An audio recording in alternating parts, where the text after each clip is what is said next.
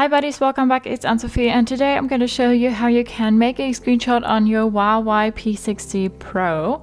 You have three options here and the first and probably most common one is to just press the volume down and the power on and off button at the same time. And then we have a screenshot here. The next option we have is to go to our drop down menu and then click on screenshot here then it will take a screenshot as well. And the third option we have is to knock on the screen with our knuckles two times. For that, you need to go to your settings, go to accessibility features, and then go to shortcuts and gestures.